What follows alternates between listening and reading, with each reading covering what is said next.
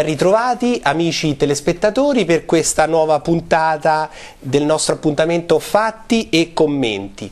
Eh, come sempre con Gaetano Alaimo eh, qui con noi. Ben trovato Ab Stefano. Grazie, grazie. Abbiamo come ospiti eh, diciamo, lo Stato Maggiore, il direttivo della Confartigianato Imprese di Viterbo, che passo subito a presentarvi. Abbiamo eh, il Presidente Stefano Signori, il segretario Andrea De Simone e Mauro Belli eh, che rappresenta eh, il settore dei consumatori, l'ADOC.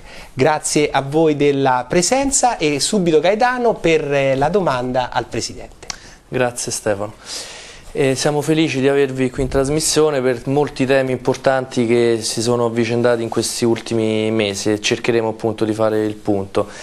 In quest'ultimo, proprio di qualche giorno fa, la notizia della trasversale e della diatriba anche a livello giornalistico che si sta avendo per eh, avere maggiori possibilità del completamento. Si parla di ingresso dei privati e questo dovrebbe portare eventualmente a un eh, eventuale pedaggio per i, gli automobilisti. Lei ci può dire qualcosa Presidente se è un'ipotesi verosimile l'affiancamento dei privati al pubblico in questa infrastruttura?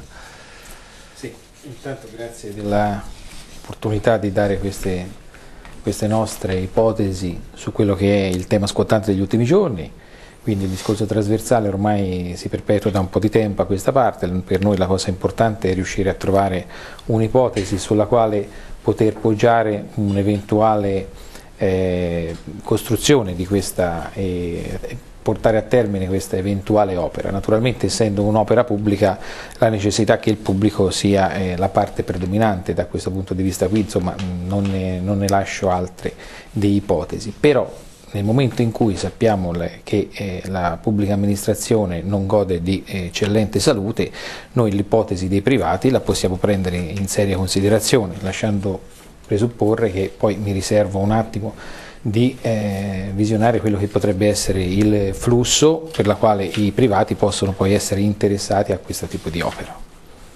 Quindi è verosimile che mm, si arrivi ad un compromesso con la parte privata, si parla anche di project financing, questo è uno dei vari progetti per eh, finanziarli in maniera più flessibile ed equilibrata? Questo è uno di quegli strumenti che sicuramente sono diventati indispensabili negli ultimi anni affinché le pubbliche opere possano riuscire ad avere il complemento all'interno dei territori, quindi niente di scandalizzante e di scandalizzoso dalla quale poi potrebbe venire fuori veramente qualcosa di positivo nella quale noi non abbiamo alcunché remora di prendere in considerazione l'ingresso dalla parte privata nel pubblico.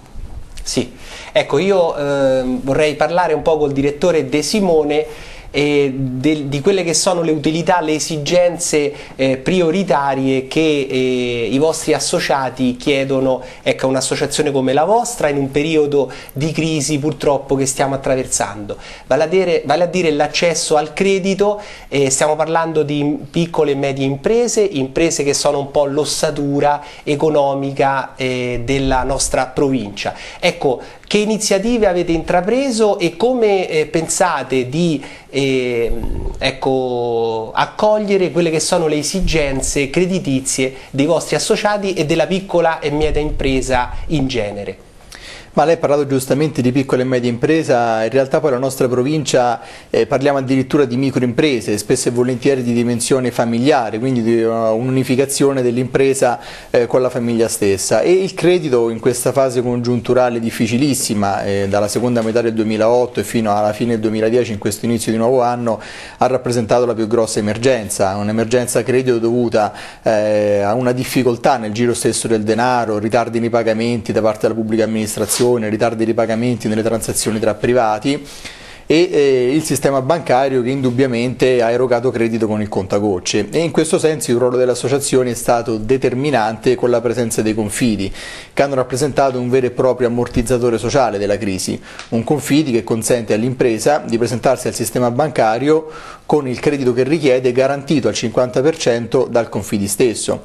Tanto per dare alcuni numeri che rendono meglio l'idea, eh, noi nel corso del 2010 abbiamo garantito prestazioni di credito per oltre 18 milioni di di euro, dando la possibilità a 330 imprese della Tuscia, del nostro territorio e molte proprio qui nell'Ortano, eh, oltre 40 imprese, di avere possibilità di accedere al mercato del credito, cosa che senza la nostra presenza, la presenza dei confidi avrebbero avuto notevoli difficoltà.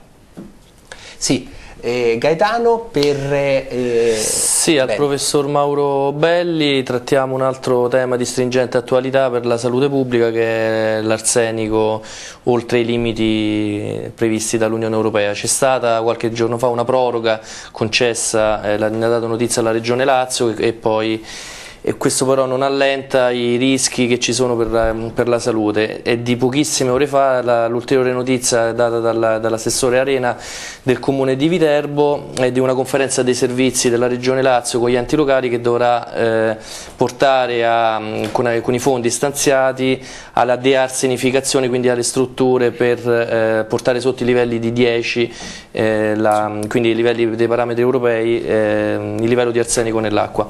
Lei che si occupa tutti i giorni di questi temi cosa può dirci? Sì, eh, l'associazione innanzitutto consumatori difende ed orienta i consumatori su tutti i problemi, tra cui chiaramente anche l'acqua. L'acqua all'arsenico, credevamo tutti di avere un'acqua buonissima nella provincia di Viterbo, purtroppo 54 comuni su 60 hanno questo problema dell'arsenico. Eh, diciamo che l'Unione Europea eh, fino al gennaio diciamo, eh, ha avuto una proroga per quanto riguarda i microgrammi al litro sull'acqua, poi li ha abbassati a 10 microgrammi. Lì tutti i comuni si sono trovati in effetti fuori legge, perché la maggioranza dei nostri comuni, per fortuna Orte no mi sembra, è al di sotto dei 10, quindi siete fortunati, come pure Vasanello. Questa zona qui ho controllato un attimino, non, non ha questo problema. Però diciamo la maggioranza dei comuni era oltre i 20. Ora con questa eh, nuova proroga che l'Unione Europea ha accettato ha rimesso in eh, condizioni chiaramente i comuni di poter lavorare per fare questi dearsenificatori. Quindi benvenga questa conferenza di servizi oggi in cui diciamo, l'Università della Sapienza è stata incaricata dalla Regione Lazio, ingegneria soprattutto, per fare un progetto per la dearsenificazione eh, delle acque Chiaramente, ecco, oh, speriamo che i finanziamenti arrivino subito. Abbiamo visto con la Talete che purtroppo sono arrivati in ritardo, quindi speriamo che gli 8 milioni finanziati dalla Regione arrivino subito e quindi si cominci a programmare eh, ed installare dei arsenificatori per l'acqua. Ecco, scusa, delle problematiche mi vengono in mente riguardo agli esercenti, cioè a coloro che ecco, sì. detengono e negozi, bene, pubblici esercizi, qualche... È bene che c'è la Confartigianato perché è un problema per eh, i panificatori, per le pizzerie, per le pasticcerie, per tutti ciò che, tutti, diciamo così, gli esercenti e gli artigiani che producono tramite acqua, quindi pasta all'uovo, tutte queste cose qua. Loro debbono dotarsi di impianti proprio per conto loro di dearsenificazione. Sì. E questo comporta chiaramente uh, già in momenti di crisi dei problemi, per, per, soprattutto per questi artigiani e per questi esercenti. Bene, ecco io al Presidente Signori volevo chiedere, ecco l'economia della provincia di Viterbo eh, si diceva eh, purtroppo con le problematiche ecco, del polo di Civita Castellana, con eh, eh, alcuni elementi che stentano un po' a decollare, eh, elementi macroeconomici ma anche di, ehm, soprattutto di commercio poi internazionale. Come reagiscono le imprese, eh, le piccole imprese che voi rappresentate a questo stato di crisi, in particolare relativamente all'occupazione e all'occupazione giovanile? Domanda un po' eh, purtroppo la congiuntura difficile. internazionale naturalmente ha avuto dei tempi che mh, ormai da circa un paio di anni hanno avuto una ricaduta su tutto il nostro territorio nazionale. Eh, nella nostra provincia questo fenomeno naturalmente si è avuto forse con un leggero ritardo rispetto a quello che era eh, il territorio nostro, italiano però comunque adesso siamo in piena crisi, se non vogliamo chiamarla recessione, e questo poc'anzi l'aveva evidenziato anche il direttore quando parlava di problemi di accesso al credito, ritardi di pagamenti.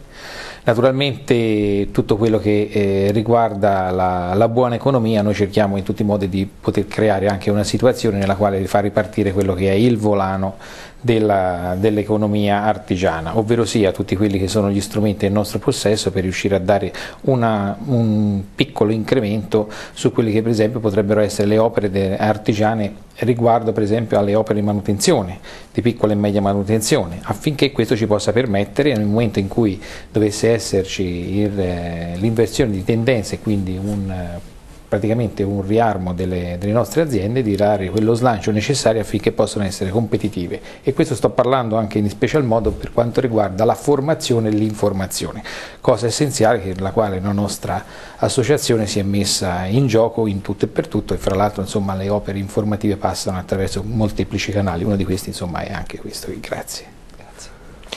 Io al direttore della Confartigianato Andrea De Simone ehm, in questo momento parlerei di iniziative. La Confartigianato è conosciuta nella provincia di Viterbo per le molteplici iniziative che durante l'anno fa da Natale fino al, al Natale successivo.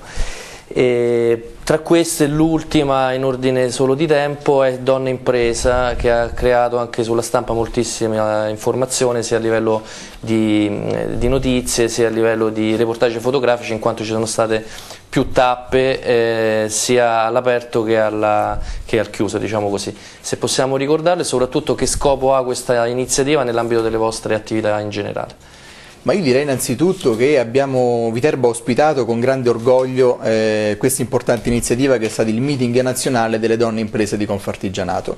Dico grande orgoglio perché ci è stata assegnata eh, con una concorrenza molto competitiva che era quella di altre città, faccio l'esempio di Rimini, di Sanremo, di Trento, a forte vocazione turistica che è una delle importanti carte in gioco da poter mettere sul piatto. Eh, quindi è stata una vittoria anche politica di Confartigianato Imprese di Viterbo e vorrei sottolineare in particolare quella che è stata anche la ricaduta però per il territorio, per un territorio come Viterbo, avere a Viterbo eh, quasi 200 imprenditrici che per tre giorni hanno sostato, hanno fatto i lavori, hanno fatto gruppi di lavoro, eh, ma hanno avuto anche la possibilità e il modo di conoscere il nostro territorio è stato anche un aspetto che ha premiato un po' la vocazione imprenditoriale al femminile della provincia di Viterbo, perché eh, il nostro territorio con oltre il 28,8 di incidenza di impresa al femminile sul totale delle imprese iscritte alla Camera di Commercio è di ben 6 punti superiore a quella che è la media regionale che si attesta sul 23,6% e di più di 4 punti superiore alla media nazionale. Quindi possiamo dire che eh, il mondo femminile si sta sempre più mettendo in luce a livello di, di impresa eh, e soprattutto l'incidenza, se questa è una domanda che interessa a me, del fattore extracomunitario in rosa, si comincia a notare oppure ancora un fattore marginale essendo in crescita anche le imprese straniere? È ancora un fattore marginale anche perché le imprese al femminile interessano per la maggior parte la categoria del benessere, dell'alimentazione, eh, settori in cui quindi la presenza extracomunitaria o neocomunitaria ancora non c'è, è più presente in altri settori più maschili, tipo quelli afferenti all'edilizia, all'impiantistica, agli autotrasporti. Ho capito. Bene, ecco a Mauro Belli eh, io tornerei sul discorso dei consumatori, questa eh, materia dei consumatori che si sta pian piano evolvendo proprio perché c'è un accostamento diciamo sempre più responsabile dei consumatori nei confronti del prodotto ma anche dei produttori. Ecco, quali sono un po' gli impegni che ultimamente hanno caratterizzato questo ruolo ecco, del, dell'associazione dei consumatori che rappresenti? Beh, I consumatori sono importantissimi, se noi intanto pensiamo alla crisi anche mondiale è la crisi dei consumi, quindi se noi lavoriamo con i consumatori per eh, diciamo così, creare prodotti sempre più che eh, vadano verso i bisogni dei consumatori, sicuramente anche le produzioni, quindi le industrie eccetera, si adegueranno e per cui diciamo, il mercato stesso verrà eh, dimensionato in base alla richiesta dei consumi. Quindi è fondamentale questo ed è una norma economica, al di là della crisi che c'è stata a livello finanziario, eccetera. Quindi i consumatori acquistano sempre più potere da questo punto di vista. Purtroppo, oh, diciamo così, eh, spesso soprattutto riguardo alle utenze, eccetera, eh, ci sono dei problemi perché pur vivendo l'era della comunicazione, l'era dell'informatica, però spesso arrivano bollette bollette strane, incongruenze e non si, risolve, non, non si riesce spesso a risolvere istantaneamente problemi che potrebbero essere minimi. Quindi si va da questi problemi qua ad orientare il consumatore facendo osservatori sui prezzi, eh, vedendo meglio il, il, il rapporto, soprattutto dal punto di vista assicurativo, contrattuale, eccetera, tra eh, il venditore e l'acquisitore in sostanza. Bene. Sì, io al Presidente Stefano Signori proporrei, eh, è ultimamente consuetudine, è un tema che sta molto a cuore ai nostri lettori, parliamo di newtuscia.it e poi chiaramente anche l'aspetto video che in collaborazione ormai lo sanno quasi tutti con Teleorte. È il tema dell'autotrasporto, nel senso che, eh, come sa benissimo Presidente, negli ultimi tempi c'è stato un aumento netto dei prezzi dei petroli, dati probabilmente anche se in questa fase in maniera indiretta dalla crisi che c'è in Libia non sappiamo quello che succederà. Moltissimi ci hanno segnalato appunto il problema del margine di guadagno che nell'autotrasporto è sempre minore soprattutto per l'incidenza del gasolio nell'autotrazione per, eh, per chi lavora in questo settore. Se può farci il punto della situazione e soprattutto quali sono i risvolti a livello provinciale e a livello generale dell'economia nell'aumento dei prezzi del petrolio, parliamo di provincia di Viterbo. Beh, il, il, problema non è soltanto provinciale, noi ne parliamo adesso per quanto riguarda il viterbese. Eh, già ehm, circa due anni fa ci siamo allertati a quello che era stato il, il, il, non contenuto aumento dei prezzi del gasolio quando il petrolio arrivò insomma, a delle cifre abbastanza consistenti. Naturalmente in quel momento lì facemmo una un'opera di sensibilizzazione nei confronti del, del governo affinché eh, la, una quota parte di quelle che erano le accise venissero abbattute. Naturalmente ci fu una, uno strumento messo in atto in quel momento lì perché era un particolare tipo di, eh, di momento lavorativo nella quale non, potevano, non potevamo farne eh, a meno. Adesso naturalmente si ripropone questo tipo di, di problematica accetteremo tranquillamente quelle che saranno le proposte della nostra associazione a livello eh, nazionale che la, si è già bella allertata e messa in atto a quelle che erano le nostre richieste. Quindi mh, per adesso naturalmente siamo in attesa di quelle che sono le loro risposte, ma sicuramente una delle quote parti sulla quale noi cercheremo di far fronte per questo tipo di problema, che non è come le ripeto attaglia soltanto il viterbese ma bensì è a livello nazionale, sarà quello di una richiesta di attenuazione di quelli che sono insomma, eh, i pesi spesi legati al, al gasolio di autotrasporto. Un inciso c'è coordinamento, di, se, se, non coordinamento, diciamo cooperazione con le altre sigle come per esempio la CNA eccetera tra, assolutamente su, sì. su questo tema? Sì sì assolutamente sì, anche l'ultima volta eh, di circa due anni fa quando facemmo il, tipo, eh, il movimento lo facemmo insieme alle nostre consorelle, fra cui insomma ecco era la CNA, Casa Artigiani che sono poi quelle fra l'altro che rappresentano proprio il settore in special modo che è quello degli autotrasportatori artigiani. Ecco, io approfitterei una domanda velocissima al direttore Andrea De Simone, eh, vale a dire eh, relativamente al settore dell'apprendistato, cioè come i giovani si avvicinano a quella che è, eh, è da considerarsi una delle attività più nobili, vale a dire quella dell'artigianato. Ma innanzitutto l'artigianato e la piccola impresa rappresentano ad oggi un vero e proprio sbocco lavorativo. Ehm, c'è forse necessaria ancora una modifica di impostazione culturale sia all'interno delle scuole che all'interno della famiglia eh, per capire come il posto fisso oggi non rappresenti più lo sbocco lavorativo per eccellenza. In questo senso ritengo che la riforma Gelmini eh, vada in questa direzione avendo introdotto l'apprendistato la, nell'ultimo anno della scuola superiore.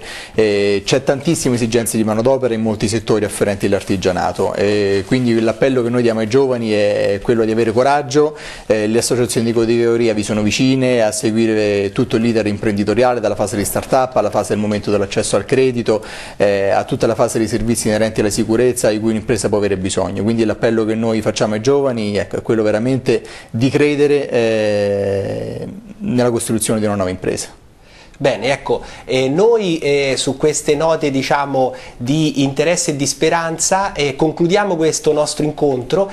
io ringrazio i presenti, ringrazio voi e vorrei, vorrei dare due brevissime notizie. La prima sono delle, appunto, dei ringraziamenti e degli auguri. La prima eh, ci associamo agli auguri eh, che vengono fatti al rettore dell'Università di Viterbo Marco Mancini che recentemente ha, eh, è stato eletto al vertice vertice della conferenza dei rettori universitari italiani, quindi questo è un eh, ulteriore riconoscimento eh, che va credo alla nostra terra, alla Tuscia, ecco soprattutto al sistema di alta eh, formazione che l'Università della Tuscia riesce a dare e credo che ci associamo un po' tutti a questo grande riconoscimento che viene dato al rettore Mancini.